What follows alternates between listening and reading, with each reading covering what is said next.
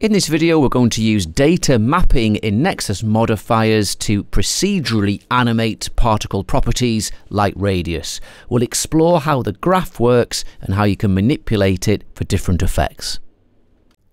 In our scene then we have an emitter here and we are in shot hexagonal mode with static particles and that's giving us this nice distribution of particles.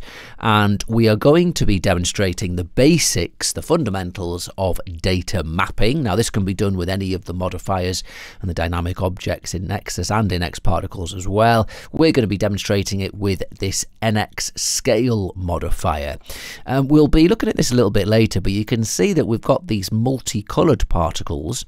That is because we have three particle groups here, particle group 3, 2 and 1. And if we go to the emitter groups tab, you can see that this emitter is using all three of those groups and it's set to random mode. So just when particles are born, they're randomly put in one of those three groups. And we can clearly see the group here um, from the colours.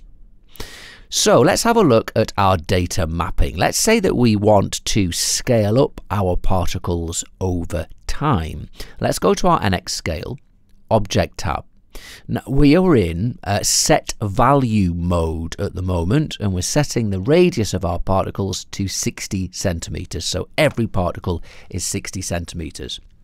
But let's say we wanted to map this value over time. So when particles were born, they had none of this, and as they get older, they gradually get bigger and bigger until they reach this amount of 60. Well, let's get that set up. Go to mapping. And first of all, we need to add a layer. And what we're going to do is add a layer according to the particle age because we want to scale them up over time. Um, so let's do particle age. So the first thing we need to set is what is the parameter that you want to map to the particle age? Well, we've already looked at that. Let's go back to our object tab.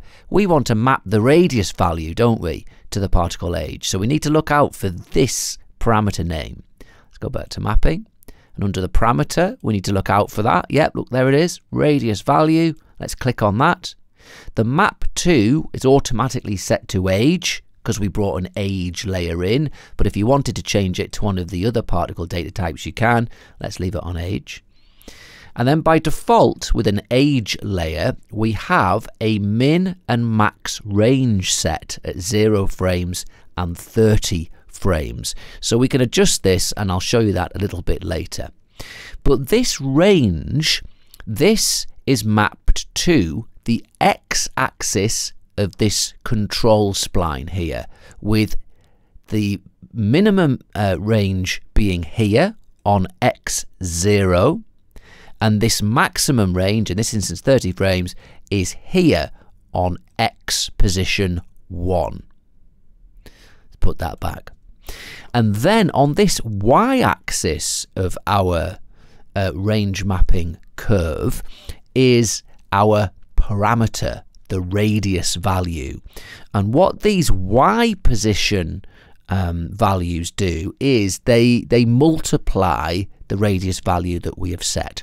So if we just go back to our object tab, we've set the radius value at 60 centimeters. So if we go back to the mapping tab, with a y position of zero, so right at the bottom of that y-axis, um, particles will have a radius value of 60 times zero, which is nothing. So they won't have any size at all. And this is happening at when particles are zero frames old.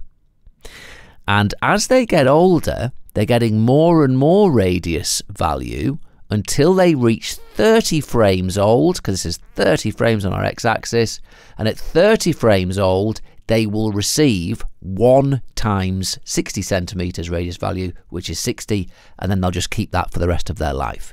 So let's have a look. We should have particles born with nothing, and gradually getting bigger until they get to 30 frames old. Yep, and then they're 60 centimeters. Cool. So if we increase this range max, let's say to 100 frames, now this x-axis is from 0 frames old all the way to 100 frames old. So particles don't get their full radius value of 60 until they're 100 frames. Let's have a look. The rate of growth should be slower. Yep.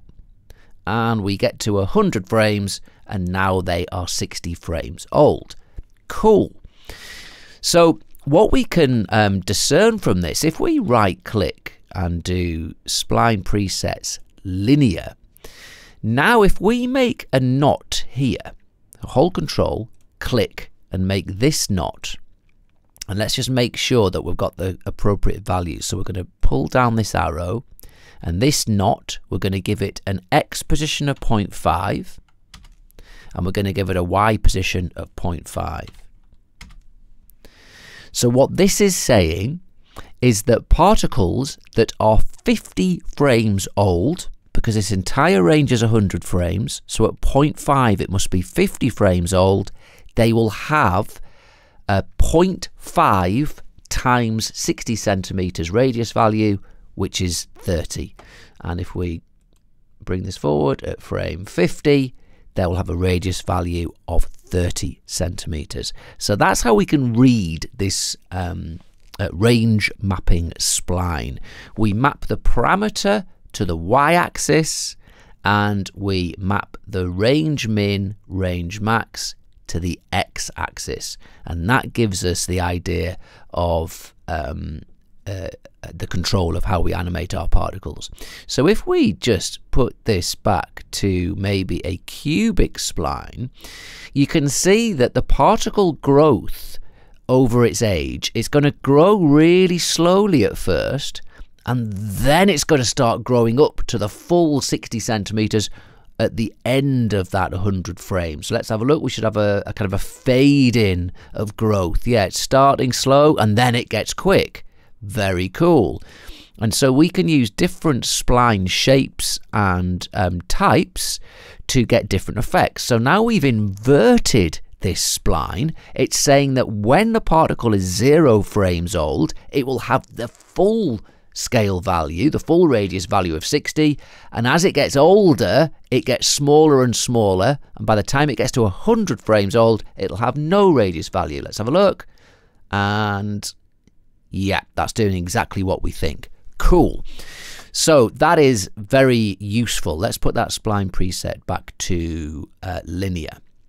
So now let's look at another scenario that may be slightly more difficult to get your head around. What we'll do is just delete out that age. And what we want to do is scale these particles according to which group they are in, which we can do. So let's go to our list and bring in a group layer. Now, we again need to get the right parameter. We want to map that radius value, don't we? So let's pick radius value here. We're mapping it to group. Now, here is where we need to get the range, min, and max correct. Before, we were doing frames because we were doing particle age. Now, this range, min, and max refers to the group numbers. Now, we don't have a group 0. We have a group 1, 2, and 3. So the min is group 1 and the max is group 3.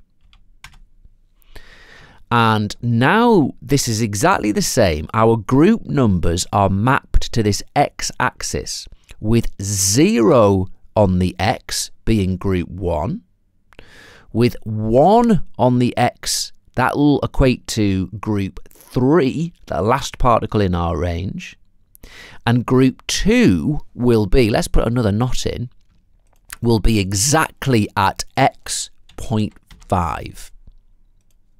Now, the difference with groups and with age is that there is no in between groups. Particles can't be in between group 1 and 2. They are either in group 1, group 2, or group 3. So all of these parts of our curves, which are before and after the points, are irrelevant when we're just dealing with these integers where there's no in between. So now what we can do is we can adjust the scale of our different particles. So you can see, look, what have we got? Well, particles in group 1, the blue particles, that's this knot here, they have 0% of our radius value. So they're invisible, and that's correct in our viewport, look. Our green particles, group 2, which is this knot, have 50% of our radius value. So they are uh, not quite 50. Look, let's put that on 0.5. They are 30 centimeters in radius. And our particles in group 3 on this knot, which have all of our radius value, have a, radius, a radius value of 60. So we can make adjustments to this. Let's make sure our blue ones have a little bit of radius. So now we can see them. And look, we can bring those pink ones down to make them smaller. Increase those blue ones, uh, the green ones, sorry. So we have got this, um, uh, the ability to map our radius value to the groups. But when we're doing it like this, the in-between parts of this curve are irrelevant because particles can't be between groups. They are either in one or the other, which means only the exact position of these knots is relevant. So that's how we set up and use data mapping with our range mapping graph. And the main thing to take away is that the range is always across the x-axis of our spline and the parameter that you are mapping is on the y.